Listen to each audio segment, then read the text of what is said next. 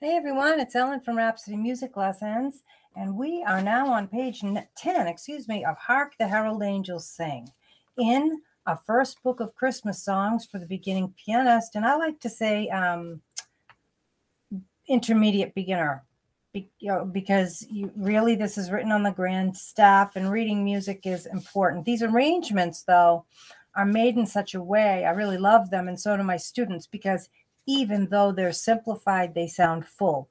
And so, whether you're a, a child learning or an adult learning, a terrific feeling of satisfaction usually follows learning one of these songs and coloring in the neat artwork that, with most of the songs, is there. Um, so, it's just added fun to this book. So, Hark the Herald Angels Sing. This is a bright piece and one that I think you'll enjoy the way this is arranged. And when I say arranged, I mean how is the music written on the staff? Okay, because that really determines how hard or simple or in the middle, right, for difficulty or challenge a song is. Okay, so here is Hark the Herald Angels Sing. I'll leave a link in my description as to where you can get this book. Um, this is written in the key of C, Okay, so there are no sharps or flats in the key signature, but there are some throughout your music. So just be aware of that. Not many, but just be aware. I think just an F. All right, so here we go. Left hand starts the melody.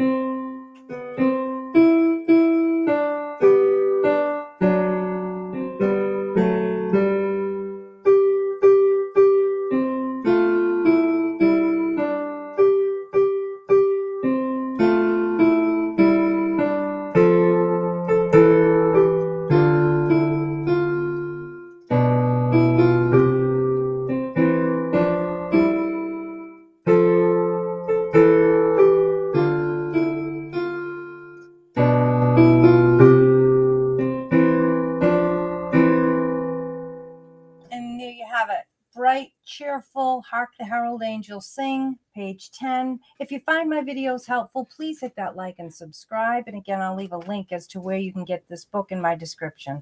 I'll see you next time. Bye bye.